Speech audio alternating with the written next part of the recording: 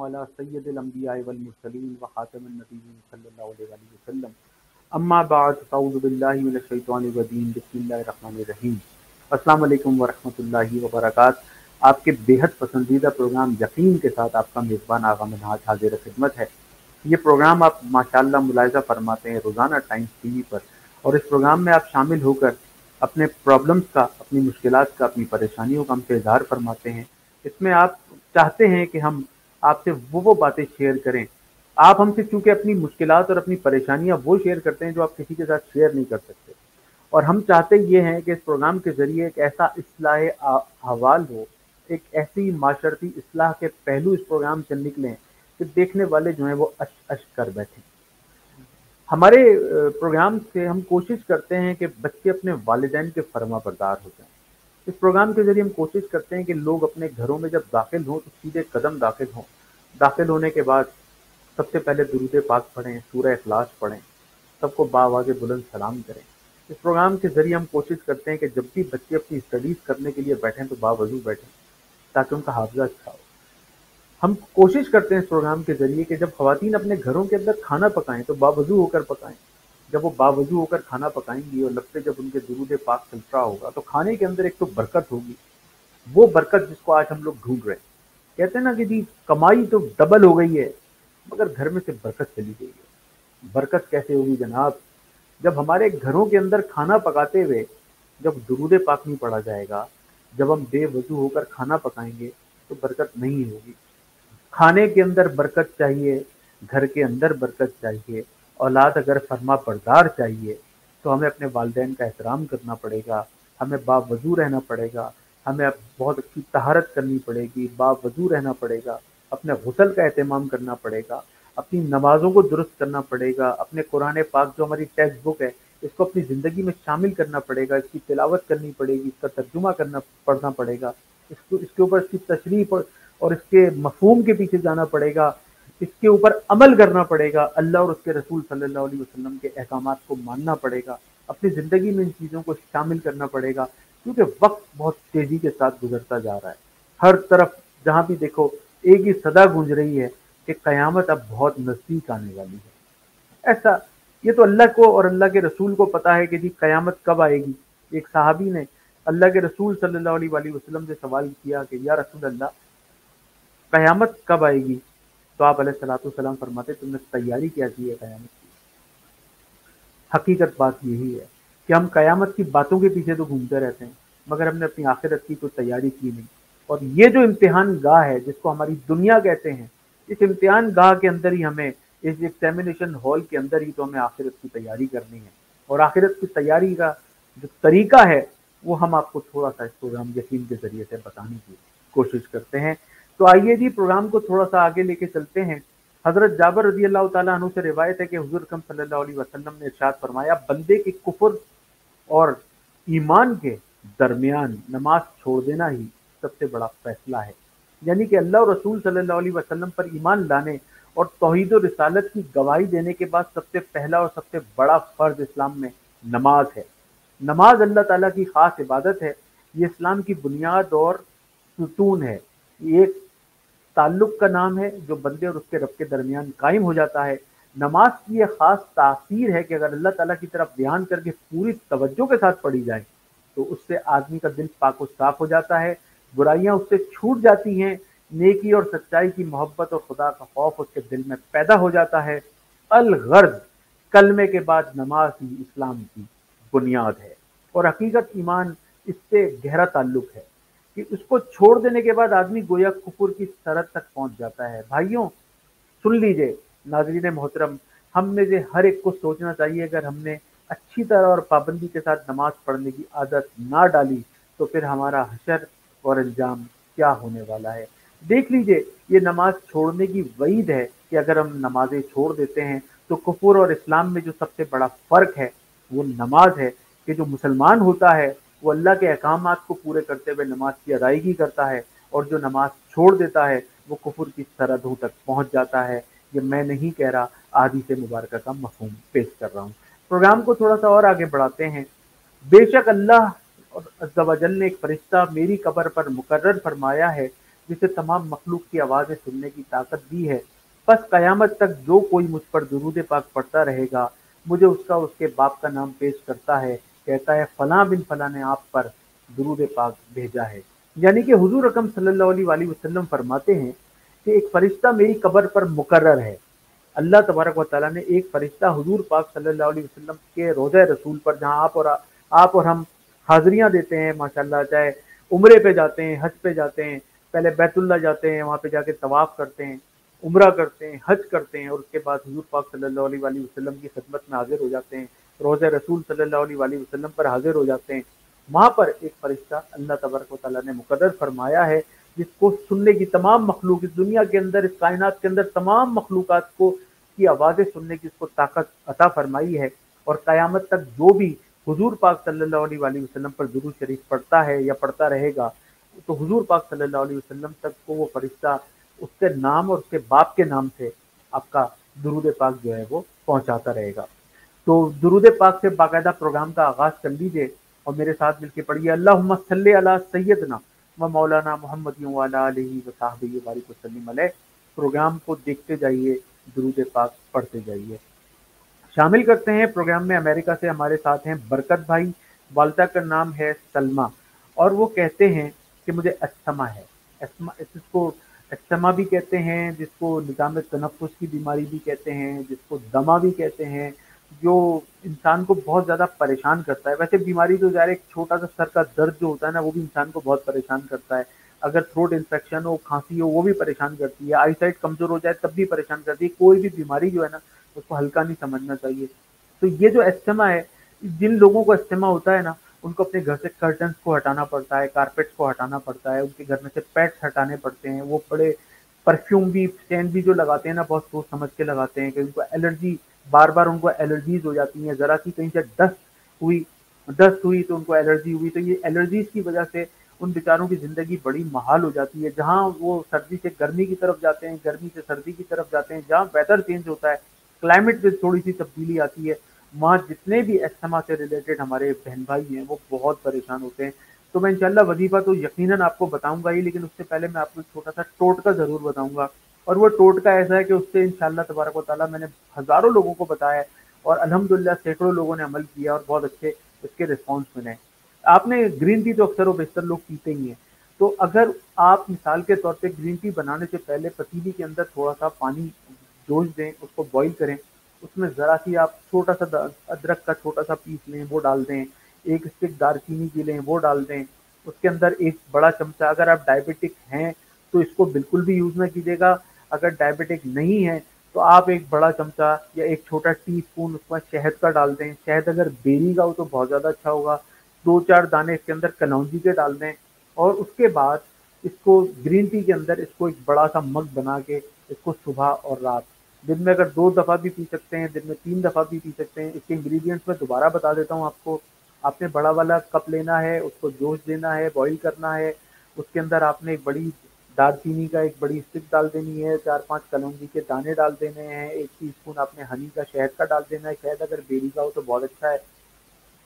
और आपने इसको इनशाला ग्रीन टी को आपने इसको बना के यूज़ करें।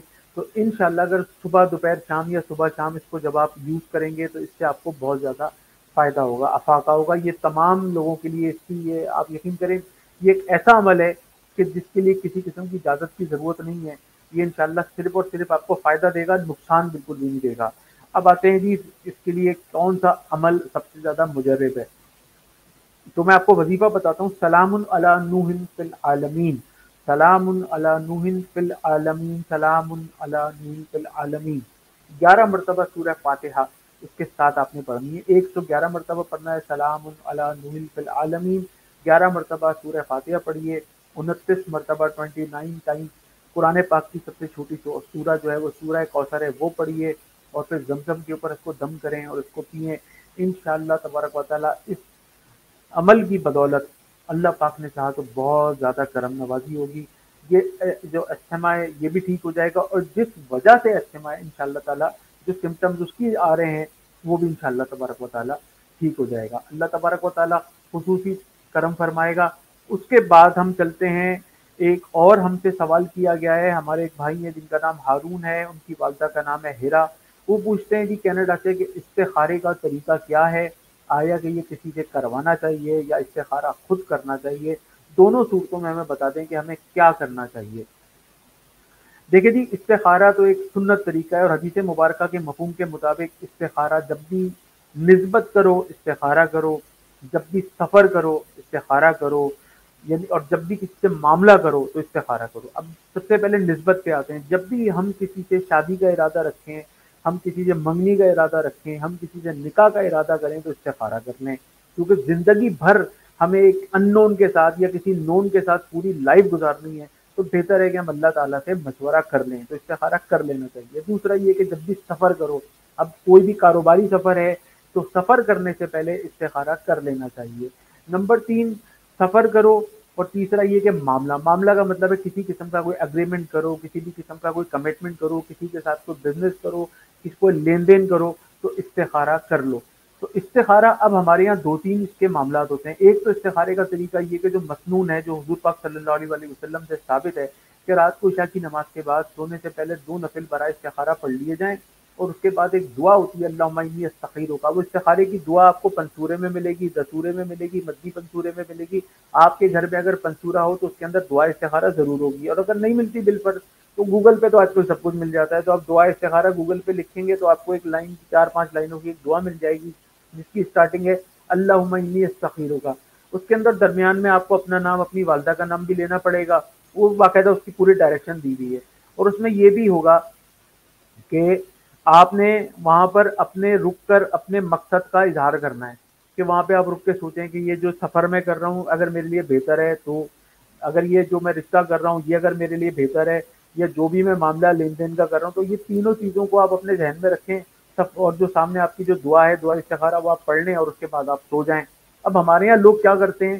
सोने के बाद वो इंतज़ार करते हैं कि ख्वाब में कुछ ग्रीन नज़र आएगा, रेड नज़र आएगा, ब्लैक नज़र आएगा, व्हाइट नज़र आएगा तो उससे उस, उस, उस उससे रिज़ल्ट निकालने की कोशिश करते हैं। तो मैं ये कहता हूँ कि हमें उससे कोई रिज़ल्ट अखज नहीं करना है। हमें तो सिर्फ़ अल्लाह तबारक वाली से ये इस्तारे की दुआ करके अल्लाह तबारक वाली से ये दुआ करनी है कि अगर ये हमारे हक में बेहतर है तो हमें मिल जाए और अगर हमारे हक में बेहतर नहीं है तो हमें फिजिकली मेंटली इससे दूर कर दे। हक में बेहतर है तो दे दे हक में बेहतर नहीं है तो अपने पास रख ले हमें ये नहीं चाहिए। हमें इसका अल्टरनेट मिल जाए कुछ अच्छा मिल जाए। जो हमारे हक में बेहतर है वो हो जाए। हमें अल्लाह तबारक वाली से सिवाय खैर के कुछ और नहीं मांगना चाहिए, क्योंकि इंसान अल्लाह तबारक वाली से दुआ में खैर मांगते मांगते शर का सवाल कर लेता है। अच्छा दूसरा ये कि दूसरा तरीका ये है कि लोग अपने बुज़ुर्गों के पास जाके भी इस्तारा कराते हैं। जैसे कोई अपने पीर साहब के पास जाता है, कोई अपने अपने खानदान के किसी बड़े मुत्तकी परहेजगार के पास जाता है, कोई मस्जिद के इमाम साहब के पास जाता है, कोई आलिम दीन के पास जाता है, कोई बहुत बड़ा स्पिरिचुअलिस्ट है, उसके पास जाता है तो मैं इसको कोई, इसमें खुदा ना खासा किसी किस्म की वो कबाहत नहीं है। आप खुद कर लें तो भी ठीक है। आप किसी नेक आदमी से करवा लें तो भी ठीक है। मशवरा अल्लाह की जात से हो रहा है, खुद कर लें या उनसे करवा लें, दोनों सूरतों में कोई प्रॉब्लम नहीं है। तो मैंने आपको ये इस्तारे का मुकम्मल जो है, वो तरीका बता दिया। दोबारा मैं आपको एक बात अर्ज़ करता हूँ, जो मैं अक्सर और बेशतर अपने प्रोग्राम में करता ही रहता हूँ, कि दिन भर कसरत से हमें अपनी ज़िंदगी में जो चीज़ शामिल करनी चाहिए, वो है सदका। क्योंकि सदका जो है, वो रद्द बला होता है, रोज़ाना एक भूखे को सदके का खाना लाजमी खिलाना चाहिए। अगर आप वेस्टर्न वर्ल्ड के अंदर हैं और वहाँ पे ये काम नहीं कर सकते तो किसी एन के थ्रू करें, उसके ज़रिए भी नहीं कर सकते। तो अपने ये जो जितने भी चरिंद परिंद हैं, इनको चीनी डाल दी जाती है, सूजी डाल दी जाती है, मैदा डाला जाता है, और जैसे समंदर की और दरिया की मछलियों को आटे की गोलियाँ बना के खिलाई जाती हैं तो इस किस्म के अमल से इनशाला सदका दिया जाता है और सदका जो है वो रद्दुल भला होता है और जब भी इंसान बीमार होता है तो उसकी जो, उसकी बीमारी का जो इलाज होता है, वो तीन चीज़ों से होता है। जिसमें सबसे पहले होती है दुआ कि जब इंसान बीमार होता है तो सबसे पहले अल्लाह तबारक वाली से दुआ माँगता है कि मुझे शिफा था फरमा। उसके बाद है दवा, वो फ़ौरन डॉक्टर के पास जाता है और उससे मेडिसिन लेकर आता है। और तीसरी चीज़ है सदका कि हम मुसलमान जो है वो बगैर सदके के कुछ भी नहीं कर सकते। तो अपनी ज़िंदगी में सदके को शामिल कीजिए, नमाजों को शामिल कीजिए। रोज़ाना एक पेज कुरान पाक को अपना मामूल बनाइए। अगर आप एक पेज कुरान पाक, एक रुकू, एक पारे की तिलावत रोज़ाना करेंगे, आपकी ज़िंदगी के अंदर बेशुमार मसाइल जो हैं वो हल हो जाएँगे। तो चलते हैं मुख्तर से वक्फे की तरफ़। एक छोटा सा ब्रेक अपने प्रोग्राम यकीन में शामिल करते हैं, जो देखते हैं आप रोज़ाना टाइम्स टीवी पर। बड़े मोहब्बत से देखते हैं इस प्रोग्राम को। इसमें अपना नाम, अपनी वालदा का नाम, अपनी डेट ऑफ़ बर्थ और अपने मसाइल से हमको आगाह करते हैं। इस यकीन के साथ के इस प्रोग्राम यकीन में जो आप टाइम्स टीवी पे देखते हैं हम आपके मसाइल को हल करेंगे कुरान और सुन्नत की रोशनी में हमारे साथ रहिए कहीं मत जाइए दोबारा हाजिर होते हैं अस्सलाम वालेकुम वरहमतुल्लाह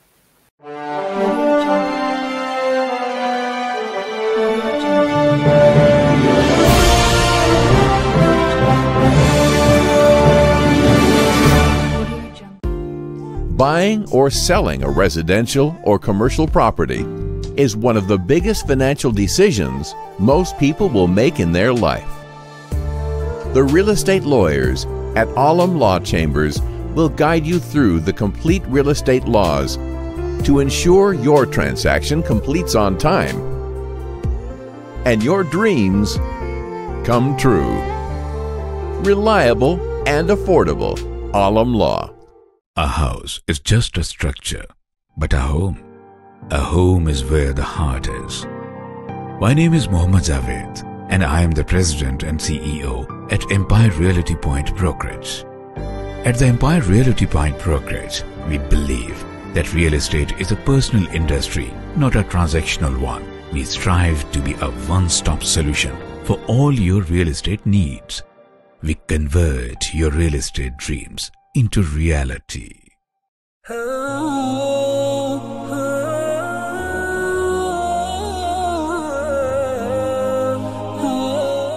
वालेकुम वरहमतुल्लाह। खुश आमदीद खवातीन हजरात, आप प्रोग्राम मुलायजा फरमा रहे हैं। यकीन टाइम्स टीवी पर रोज़ाना मुलायजा फरमाते हैं और इस प्रोग्राम में अपना नाम, अपनी वालदा का नाम, अपनी डेट ऑफ़ बर्थ और अपना मसला हमको भेजते हैं। यकीन के साथ कि हम कुरान सुन्नत की रोशनी में आपके मसाइल को हल करने की पूरी कोशिश करने की सादत हासिल करते हैं।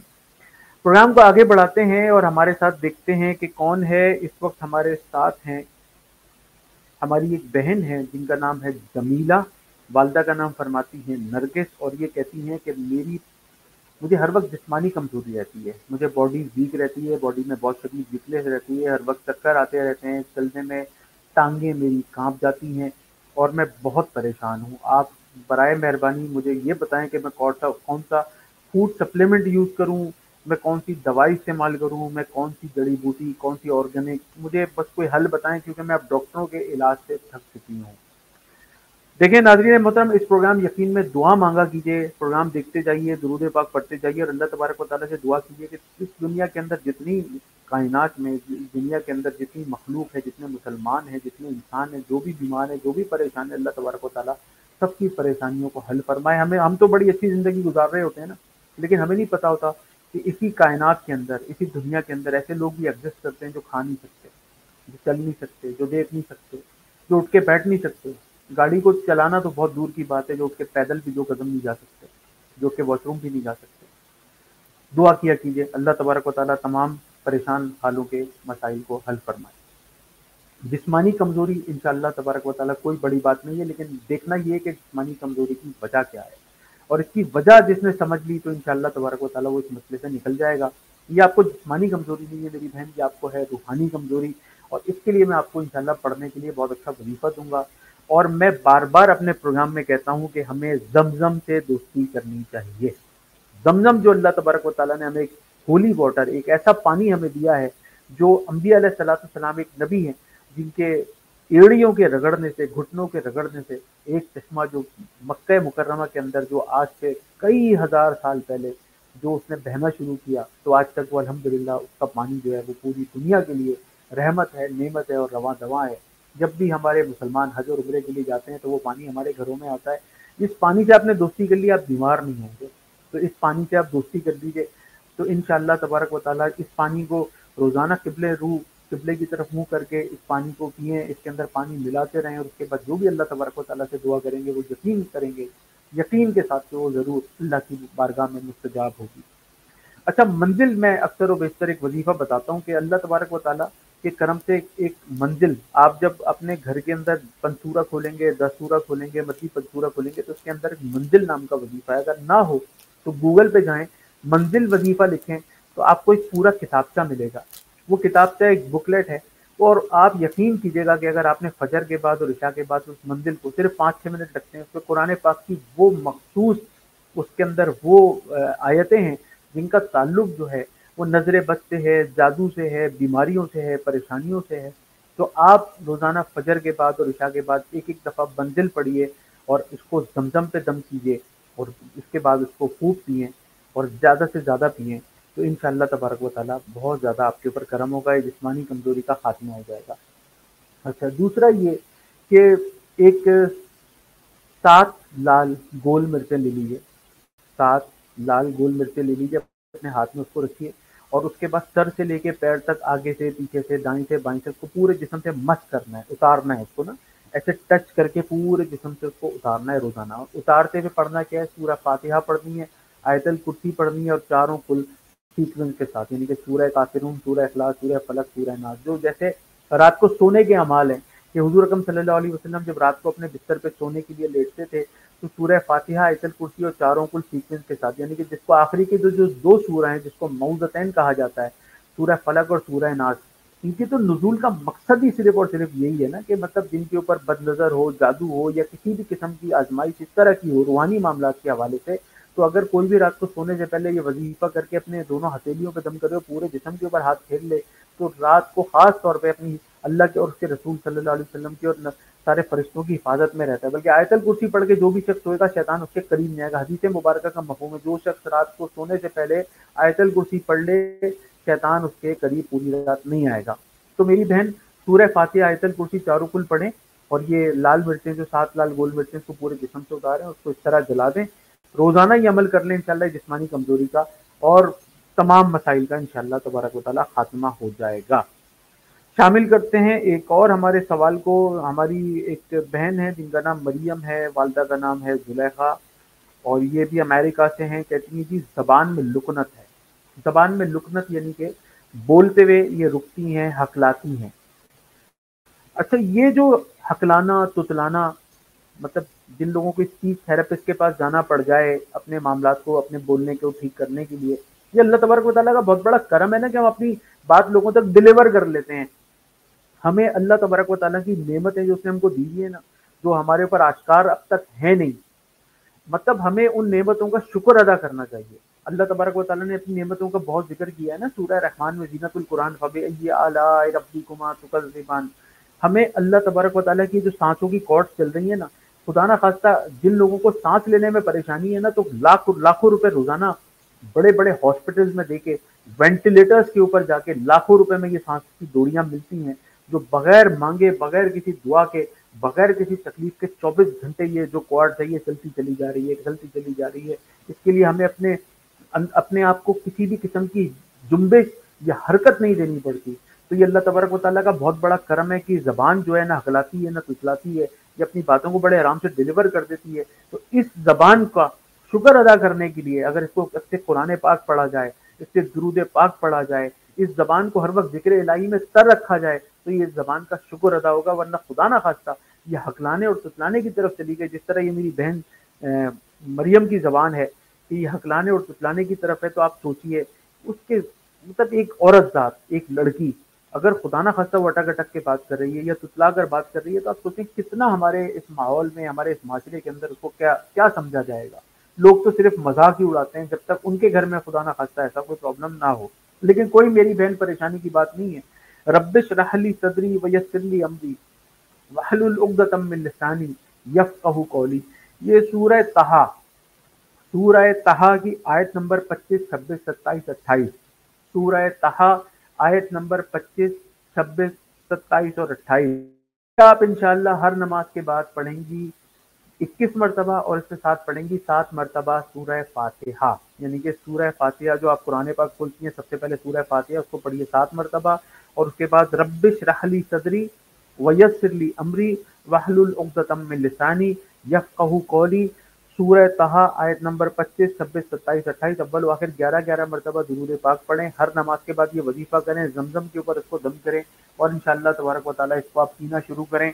आप यकीन कीजिएगा रोज़ाना एक भूखे को सदक़े का खाना खिलाइए। या हसब हैसियत हसब तोफ़ी हसब इस्तात और अपने आपको सदक़े का आदि बनाइए। इन तबारक वाली ये आपका हकलाना तुतलाना। लेकिन स्पीच थेरेपिस्ट को मत छोड़िएगा। ये देखें ये अल्लाह तबारक वाली का ये जो दिया गया वजीफा है, ये आपने अपनी जगह पे करना है, लेकिन जो दुनियावी मेडिकेशन हैं, उसके अंदर मैं किसी किस्म की रायत नहीं बरतता। वो मैं कहता हूँ कि आप अपना इलाज ज़रूर कराएँगे।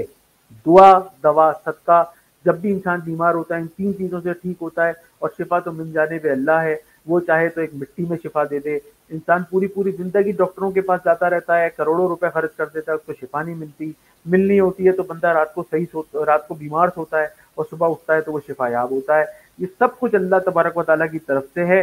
आगे चलते हैं जी बच्चों का नाम के हवाले से हमारे पास एक, जुनेद साहब हैं और उनकी बेगम का नाम है फायजा। उनको फरमाते हैं कि जी, मेरे यहाँ बारह मुहर्रम को माशाल्लाह साहबजादी पैदा हुई है। और मैं उसका नाम रखना चाहता हूँ तो बच्चियों के नाम उन्होंने भेजे हैं। मुझे सकीना, आयशा, अलीना, महानूर और उम्म कुलसूम। नाजिन मोहतम इस प्रोग्राम के अंदर अब आप हमें इस तरह से भी बच्चों के नाम के हवाले से भी रबता कर सकते हैं कि जैसे आपके यहाँ किस बेटे या बेटी की विलादत हुई और आप थोड़े कंफ्यूज हैं, थोड़े पजल हैं और आप सोच रहे हैं कि यार इसका मैं नाम क्या रखूँ तो आप सबसे पहले अपने वालदेन से, अपने अहलो अयाल से, अपने घर में मशवरा करके पाँच नाम, सात नाम, दस सात नाम, दस नाम भी आप हमें भेज दें तो उसके अंदर जो नाम बेहतर होगा उस बच्चे के हवाले से, या उस बच्ची के हवाले से तो हम आपकी आपको इंशाल्लाह बता देंगे तो आप चाहें तो उन नामों में से उसको रख लीजिए। तो इन्होंने बारह मुहर्रम को इनके बेटी की विलादत हुई है, जुनेद नाम है, बेगम का नाम है फायजा, सकीना, आयशा, अलीना, महानूर और उम्म कुलसूम, और ये माशाल्लाह कितनी खुशनसीबी की बात है कि इतने अच्छे माशाल्लाह, ये एक माइंड जो है अभी डेवलप हो चुका है। कि इतने अच्छे अच्छे नाम आपने ऑलरेडी मुझे भेजे हैं तो मैं आपको ये मशवरा दूँगा कि आप उम्म कुलसूम या सकीना में से, सकीना या उम्म कुलसूम, यानी कि जुनेद भाई, आपकी बेटी का नाम या तो सकीना हो या उम्म कुलसूम हो, इन दोनों में से अगर रख लें तो ये इनशाला बहुत ज़्यादा आपके लिए मावनत और अच्छा बेहतर साबित होगा। आगे प्रोग्राम को लेके चलते हैं। ख्वाबों की ताबीर के हवाले से हमसे क्या पूछा गया है? हमारे हमसे सवाल पूछा है, इमरान साहब ने वालदा का नाम है रिहाना और कहते हैं कि मैंने जी ख्वाब में देखा जिस तरह मौजिन, यानी कि अजान देने वाले, जैसे मस्जिद में अजान देने वाले को मौजिन कहते हैं तो ये हमारे इमरान साहब ख्वाब में देखते हैं कि जिस तरह मौजिन साहब जो है वो तकबीर करते हैं, जैसे नमाज़ से पहले तकबीर होती है, जैसे अजान होती है ना तो वो अजान के बाद एक तकबीर होती है, नमाज़ से पहले, जमात खड़ी करने से पहले तकबीर होती है। तो मौजिन जो है वो तकबीर बड़ी ज़ोर ज़ोर से, बुलंद आवाज़ में तकबीर पढ़ रहे थे। और जिस वक्त ये तकबीर मैंने अपने ख्वाब के अंदर, जिस वक्त मैं देख रहा था तो मैंने ये देखा कि पीछे वाली सब के अंदर मैं भी वो तकबीर पढ़ रहे हैं कि ताकि नमाज़ जो है वो जमात के लिए तैयार हो और मैं भी उसके दौड़ा नक्का कि मैं भी जाके पहली सब के अंदर शामिल हो जाऊँ नमाज़ में और उस वक्त मेरी आँख खुल गई। तो मुझे बताएँ कि ये इस ख्वाब की क्या ताबीर है। सबसे पहले तो मेरे भाई, आपको बहुत बहुत मुबारक हो कि आप अगर खुदा ना खास्ता दुश्मनों के अंदर, खुदा ना खास्ता जो भी दुश्मन है आपके, या जो भी आपके लिए बुरी राय रखते हैं, या आपके ख़ानदान में, आपके कारोबार में, आपके माली माली मामला में आपके तजारती मामला में, जो भी आपके जो आपके, क्या नाम है कॉम्पिटिटर्स हैं, जो आपके साथ जेलिस हैं, जो आपसे खुश नहीं है तो सबसे पहले तो आपको उनके ऊपर पता नसीब होगी। आप इनशाला जीत जाएँगे और वो हार जाएँगे, वो जेर होंगे और आप इनशाला फतेयाब होंगे। दूसरा ये खुदा ना खास्ता किसी किस्म की कोर्ट, कचहरी या किसी भी किस्म की इस तरह की प्रॉब्लम्स के अंदर आप हैं तो इनशाला यहाँ पे भी आपको पता नसीब होगी और घर में खैर बरकत होगी। इसके अंदर सबसे अच्छा जो मसला है वो ये है कि इंसान के घर में खैर बरकत होनी चाहिए, क्योंकि इंसान के घर में जहाँ खैर होगी, बरकत होगी, अल्लाह की रहमत होगी, वो अगर हर परेशानी, हर बीमारी, हर किस्म की मुखलिसी हर किस्म की टेंशन से बचा रहेगा। रिस्क के दरवाजे इंशाल्लाह खुशादा होंगे।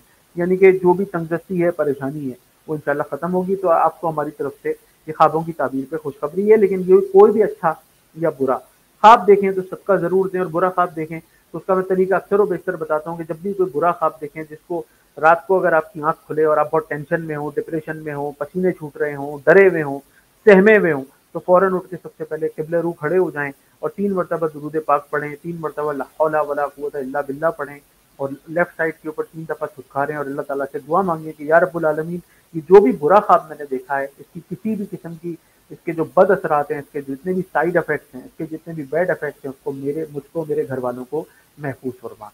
प्रोग्राम को अब इख्ताम की तरफ़ लेके जाते हैं। आप अपने मेज़बान आगा मिनहाज को, हमारी टाइम्स टेलीविज़न की पूरी टीम को इस प्रोग्राम यकीन से इजाज़त, मरम्मत फरमाइए, हमारे लिए बहुत ज़्यादा दुआ फरमाइए और हमारे इस प्रोग्राम को देखते रहिए शेयर करते रहिए, इस प्रोग्राम में शामिल होते रहिए। प्रोग्राम का अख्ताम अलहमदिल्ला हर दफ़ा दुआ से होता है और दुआ जो है वो रद्दुल है।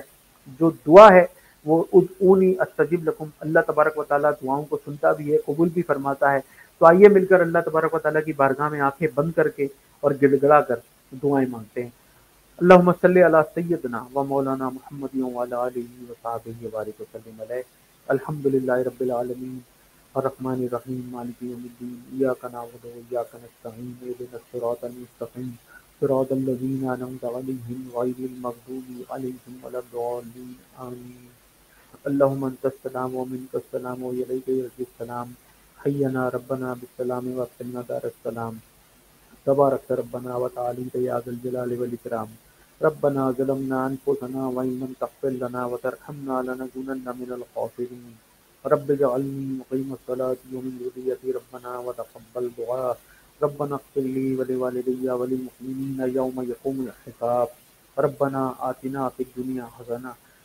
वफ़िल आखिरत हसना वकीन अजाब नार वकीन अजाब अलकबर वकीन अजाब अलहशर वकीन अजाब अलमीज़ान या इलामीन जो भी हमने बैठ कर आज इस प्रोग्राम में अच्छी अच्छी बातें की तमाम अच्छी अच्छी बातों को अपनी बारगाह में कबूल फरमा या अल्लाह इस प्रोग्राम में जितने परेशान लोगों ने हमसे रबता किया उन तमाम की परेशानियों का खात्मा फरमा या अल्लाह जितने लोग इस प्रोग्राम में हमसे अपनी प्रॉब्लम इस यकीन के साथ बयान करते हैं या रब्बुल वो ठीक होना चाहते हैं, हमसे रबता करते हैं, हमारी इज्जतों के लाज रख ले।